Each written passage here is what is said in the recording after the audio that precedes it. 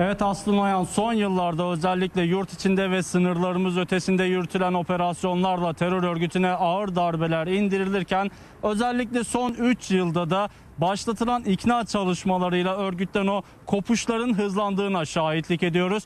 İçişleri Bakanlığı koordinesinde yürütülüyor çalışmalar. Emniyet Müdürlüğü, Jandarma Genel Komutanlığı ve Milli İstihbarat Teşkilatı'nın yürüttüğü çalışmalara zaman zaman aileler de aktif olarak katılıyor ve son yıllarda özellikle birçok teröristin teslim olduğuna şahitlik ettik bu ikna yöntemiyle. Ancak son iki yılda geçtiğimiz yıl ve bu yıl e, bu noktada bazı gelişmeler dikkat çekmeye başladı. Zira örgütün o sözde üst düzey yöneticileri artık ikna yöntemiyle güvenlik güçlerine teslim olmaya başladı. Geçtiğimiz yıl 2020'de gri kategoride aranan iki terörist teslim olmuştu ikna yöntemiyle ve yine Diyarbakır İl Emniyet Müdürlüğü'nün yürüttüğü çalışmalar neticesinde e, terörist Reşit Yanık turuncu kategoride 1 milyon liraya kadar ödülle aranan terörist Reşit Yanık Hakkari Yüksekova'da teslim olmuştu.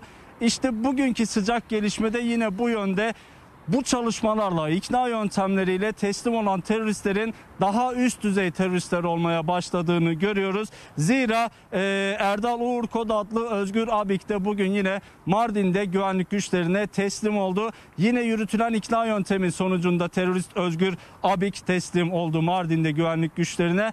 Özgür Abik yeşil kategoride aranıyordu. Örgütün sözde GAP RİHA alanında sorumlu düzeyde düzeydeydi. Örgütün sözde üst düzey yöneticilerinden biriydi ve yeşil kategoride 2 milyon liraya kadar ödülle aranıyordu ve Erdal Uğur Kod adlı terörist Özgür Abik Mardin'de güvenlik güçlerine teslim oldu Aslı.